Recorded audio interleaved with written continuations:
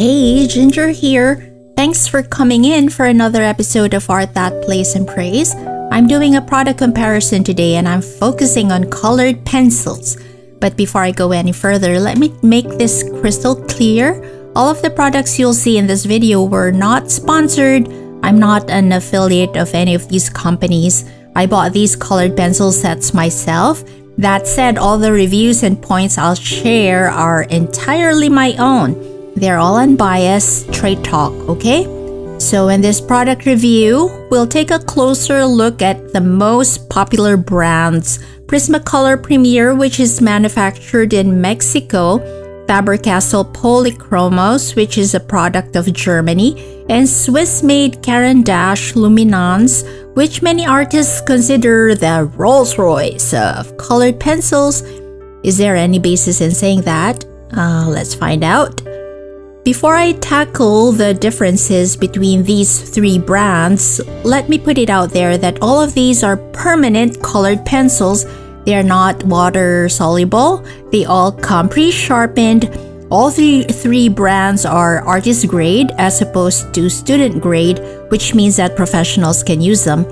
All three brands boast of superior light fastness, high saturation, and blending ability. But to what degree are they superior? That's what I want to dissect in this video because obviously there are varying levels of performance for each of these and that's what we want to explore further. Now let's tackle first Prismacolor, which most of you might already be familiar with since this is the go-to medium of most adult coloring book enthusiasts. Premier is the artist grade line of Prismacolor they also have another student grade product, which is a Prismacolor Scholar, but that's not what I'll review here. Prismacolor's largest set comes with 150 colors, which is what I have here. They do have smaller sets. There's a 24 pack, a 48, 72, and 132 pencil set, which are packaged in better looking metal tin containers, not like this carton here. It's a shame that this 150 set doesn't come in a tin as well. This box has a magnetic closure, but it's not secure enough. If you drop the box, I'm sure the pencils will scatter everywhere. Now, first impressions. The moment I opened the box, I, I got giddy with excitement. Look at all these colors. It really takes your breath away, right? Oh my gosh, isn't this so pretty? The color range is astounding. You get so many shades of red, so many shades of blue and green, and the wide selection opens up so many possibilities. Just think about all the variations of colors you can achieve and blending them together. But that's just my initial reaction. Upon closer inspection, my disappointment trickled in one by one. Prismacolor has developed a bad reputation ever since it moved its manufacturing from the US to Mexico. So if you have an old set, and by I by old I mean you bought it anytime prior to 2010, then the problems I'll detail here may not concern you, but it appears that quality control issues erupted with the newer colored pencils that shipped out of Mexico. The most obvious flaws are the cracks. Some cracks are hairline thin and not too noticeable, but some are some some are more serious and the barrels are split in half. It's not just the superficial paint that's shipped. There are fissures on the wood and those are serious structural problems. You, you don't want to deal with that. Now check these out. These cracks are clear indications to me that the quality of the wood they use could be substandard we wouldn't know for sure because the wood is covered up with paint. If there were inherent imperfections on the cedar, uh, there's no way for us to find out until we experience problems while coloring or sharpening. And that's exactly what many artists have experienced with Prismacolor. You just need to read reviews on Amazon to know the many horror stories about Premier.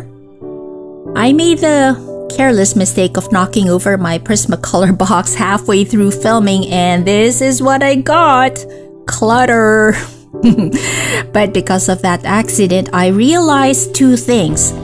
One is that these trays are so flimsy they can't properly hold the weight of the pencils, especially if you're carrying the tray with one hand. The thin plastic folds up too easily.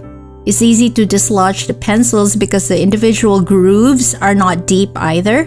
They they don't hug the pencils pencils as snugly as the Caran d'Ache case does. Discovery number two is that the leads are so soft that they can get damaged as the slightest drop.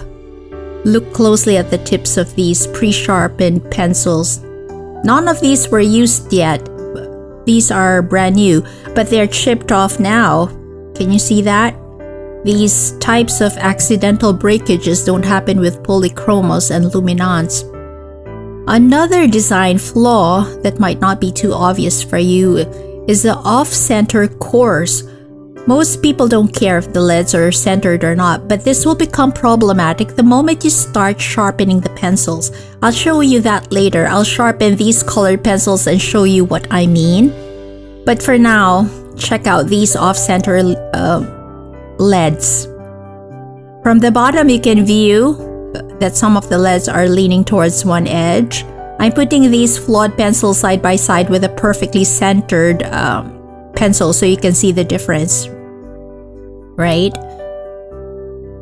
Prismacolor has been in the business of creating pencils since 1938. You would think that by now they've perfected the design and manufacturing process of these products, but sadly, they've cut corners in their production to bring down the cost. And of all the brands in my review here, Prisma is in fact the cheapest. That's probably why it's cornered a comparatively larger share of the market. People can afford it, plain and simple. It's within their budget to grab a Prisma than a Caran d'Ache set. However, I, I know of many serious professionals who regret trading quality for price. My 150 pack Prisma here is brand spanking new, but you saw all the flaws from the pencils I just randomly picked. I even got doubles of the same green color.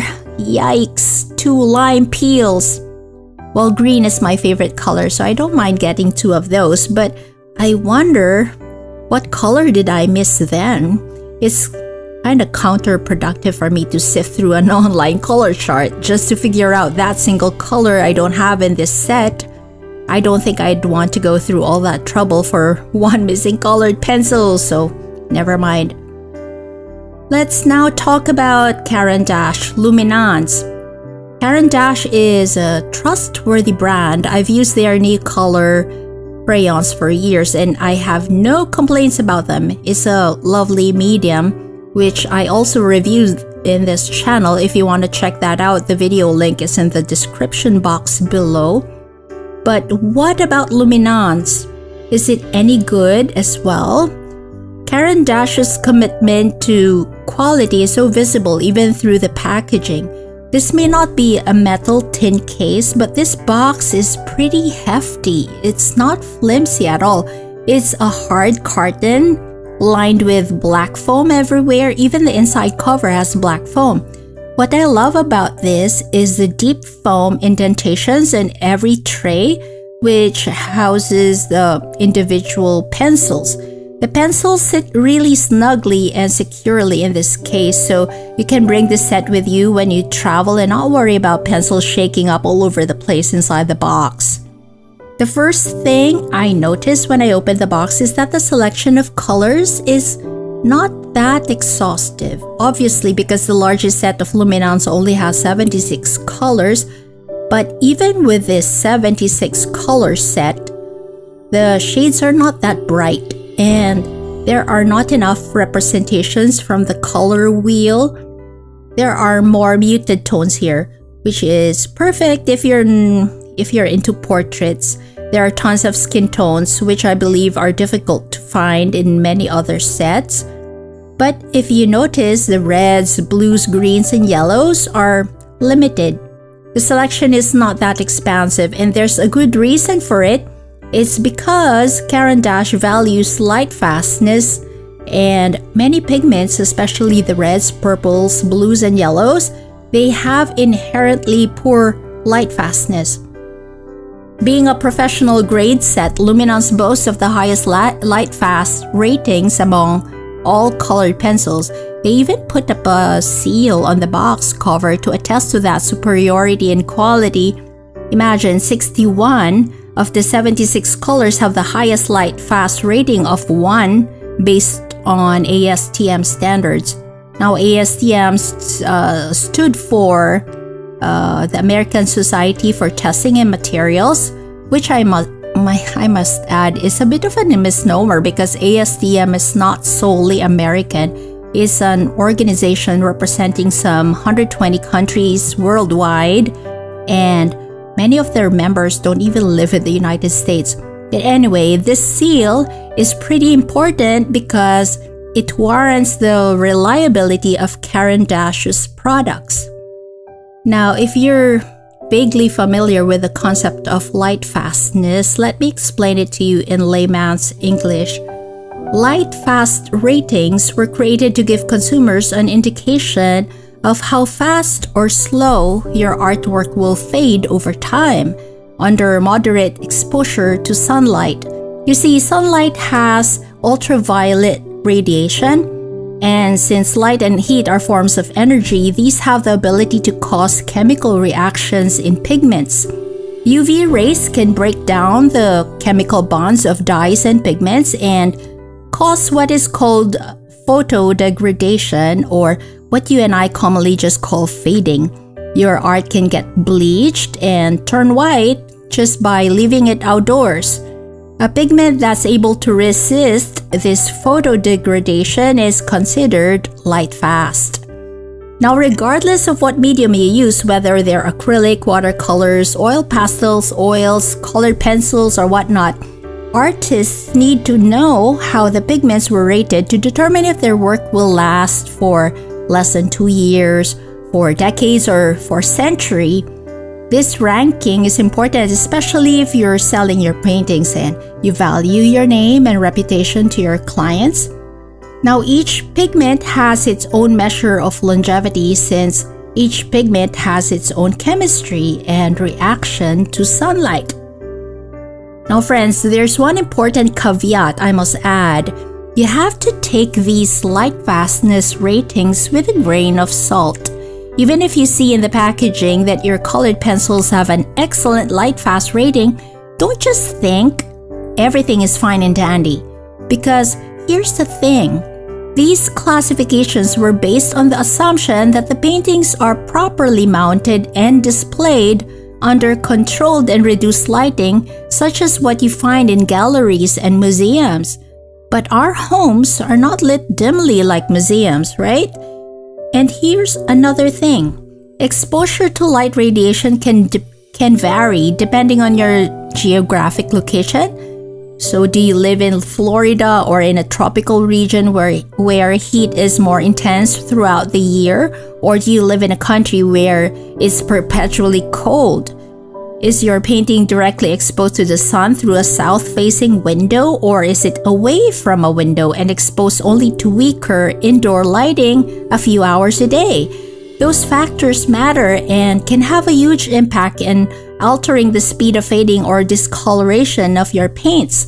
So, although the ASTM and Blue Wool tests give light fastness standards of reliability for the pigments they subject to testing, you can't put your entire faith in it. Those classifications are relative to normal conditions of exposure. You can't just blindly believe that since one color is rated in the box to last 100 years, that it won't fade in 25 years or less. Because the truth is, a pigment with an ASTM or Blue Wool Lightfast rating of excellent may not last 100 years, as the chart says. If you put your painting under direct sunlight during summer, it can only last 3 to 4 months before it fades.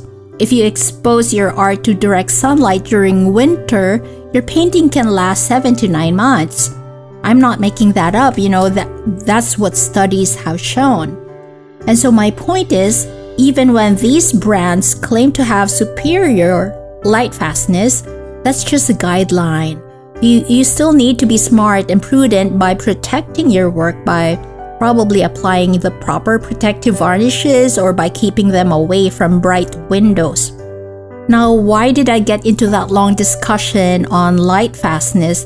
It's because that is the main selling point of Caran d'Ache Luminance. It it has the best light fastness among all the brands of colored pencils, not just the ones that I have in this product review. And for us serious professionals, it's a feature that can swing our votes away from Prismacolor. Because the fact is, Prismacolor has the worst light fastness. I studied their chart for the 132 piece set, and of the 132 colored pencils, 34 are classified as fair and poor. That's 26%. More than one fourth of the whole box are useless pencils that will fade in two years or less. Of the 132 pencils, only 53 have excellent light fastness. That's only 40%. Pretty low, right? And these light fast pencils are mostly grays. It also includes the black, the white, and the colorless blender. In other words, all the bright, vibrant colors that made me drool when I first opened the set are in fact susceptible to discoloration. Pretty bad news, huh? Anyway, back to luminance and do I love what do I love about Caran d'Ache anyway? I love that the pencil casings are not painted and you can see the quality of the California cedar wood they used. They're not hiding their raw materials under layers of paint covering so you can actually see the wood grain, the solidity of the cedar. You can see that there are no cracks, knots, or natural features in the casing that can be points of breakage for the pencil. That to me is plain honesty from the manufacturer, and I appreciate that. It's enough for me that the tip has the color swatch. I don't need for the pencil to be covered in paint from end to end. And talking of swatches, the paint colors on the bottom end of these pencils are accurate representations of the pigments on the lead. They match pretty well. That to me is super helpful because then I don't need to waste precious leads to scratch out a swatch for this set. The color code you see on the casing is more or less the same color you get on paper when you use this product, so that's all perfect. What I don't like about the Luminance is the labeling. The color labels have tiny, shiny silver fonts wrapped around the tip, which are hard to read. Unlike Polychromos and Prismacolor Premier, where the the labels run along the length of the pencils. This one goes on the tip and you need to swirl the uh, twirl the pencil 360 degrees to read the words. It's a chore to read and the choice of font color is not great as well because there's not much contrast between the metallic silver labels and the natural light brown color of the cedar wood. If the labels were in black, that would have been a bit easier to read. Luminance pencils are sold individually, which is awesome. If you run out of a particular color, you can order that separately without having to invest in another 76 color set. And that's the reason why each pencil has a barcode here. Isn't that cool? What about Faber-Castell Polychromos? Of the three brands in this review, I find that the labels on the Polychromos are the easiest to read. The fonts are big enough and are spread across the length of the barrel. Polychromos colored pencils are the only oil-based ones in this review and because of that, their cores are harder and more resistant to breakage, but at the same time, they're harder to blend and burnish compared to Prismacolor Premier. They are not as creamy, and some artists use solvents to spread the pigments around, but I find that too bothersome. One big advantage of oil-based pencils is that they're not prone to wax bloom. Wax bloom is a form of oxidation, pretty much like the rust you find in metal. It happens when you use materials that are wax heavy. When you've layered way too much colors one on top of the other, then wait a few days later, some of the wax binders lift to the surface of your art, you'll notice a whitish film on top of your painting, and that's what you call wax bloom. It creates some splotchy haze on your painting and they can be unsightly. You can easily get around this problem by spraying a final fixative on your work immediately after you're done. Or you can use a workable fixative if you think you still need to go back to your painting and add a few more alterations later. That said, with polychromos being an oil-based medium, wax bloom will not be a concern. So that's one plus factor in choosing polychromos. Now all Polychromos colored pencils are packaged nicely in tins whether there are only 12 pieces or 120 pieces which is what I'm featuring in this review. Polychromos are more expensive than Prismacolor Premier but luckily they have smaller versions you can buy if you budget is an issue. Besides the 12 pack there are 24 piece sets, 36 and 60 piece sets. Another excellent thing about polychromos is their light fastness. If you can't afford the luminance, polychromos is your next bet for a fade-resistant medium. For a manufacturer that has uh, that has been in the business since 1761, Faber-Castell understands quality and has survived for centuries as proof of it. Let's head over and compare the performance of these three products all three brands have the same core diameter. The cores are all 3.8 millimeters, but the wooden barrels have different thicknesses. You can feel the difference in the way the pencils sit on your hands. Caran d'Ache Luminance feels heavy, not in a tiring bad way, but in a nice and cozy perfect way.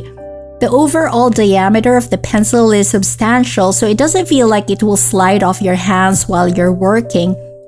Polychromos is slightly thinner, but the luminance, um, it, it still feels comfortable in the hand. Prismacolor, on the other hand, is too thin for me. I don't like how this feels. There's not enough weight to it, so it feels like I'll drop this if I don't grip it too well.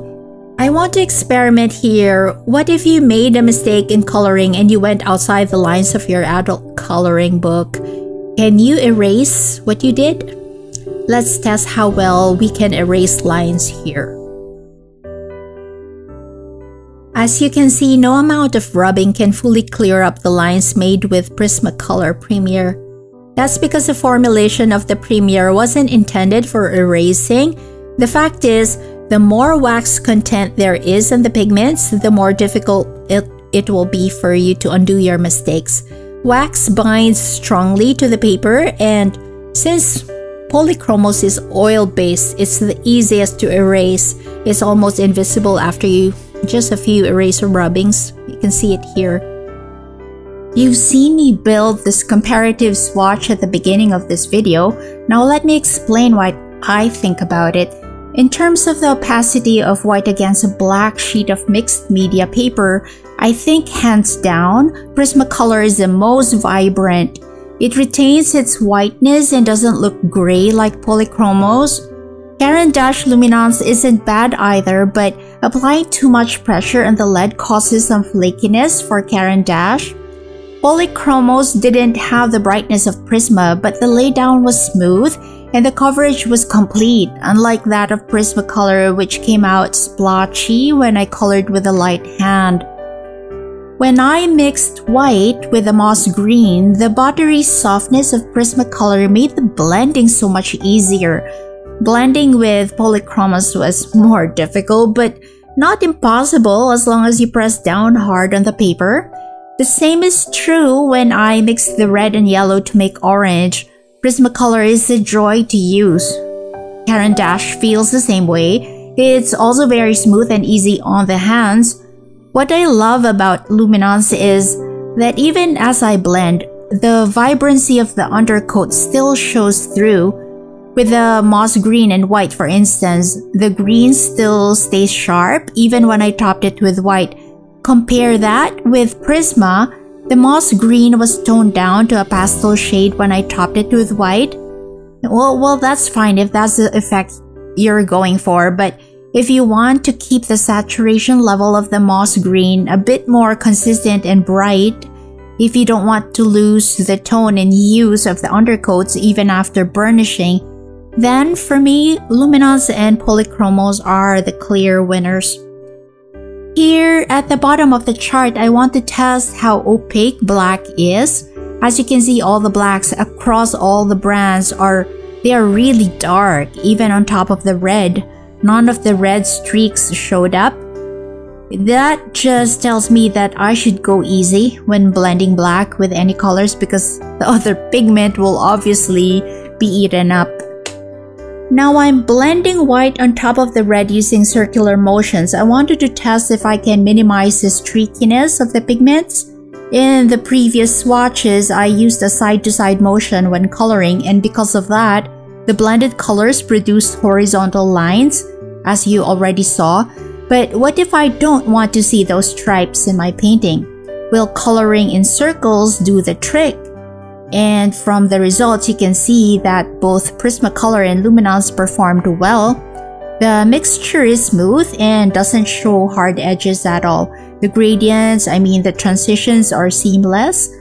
But oil-based polychromos still reveals the horizontal lines of the red underpainting even when I topped it with white using circular strokes.